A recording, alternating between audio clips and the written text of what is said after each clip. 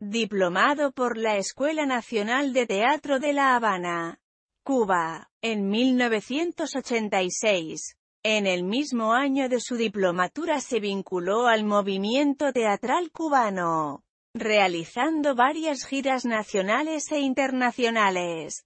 En 1990 fue parte del éxito de público y crítica, trilogía de teatro norteamericano, bajo la dirección de Carlos Díaz, director de teatro, en el Teatro Nacional de Cuba, con el montaje de Las Criadas de Jean Genet.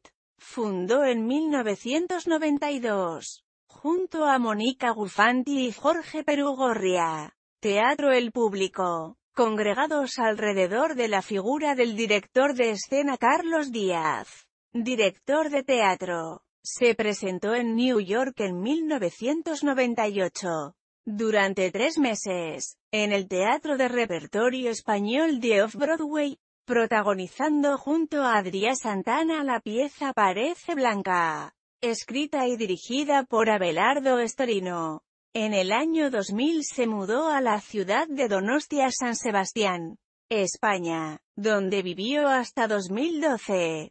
En 2001 fue contratado como profesor del Taller de Artes Escénicas de Donostia San Sebastián. Impartió clases de actuación hasta 2008. En el año 2005 le fue concedida la nacionalidad española por residencia. Desde 2012 reside en la ciudad de Miami. Florida, Estados Unidos.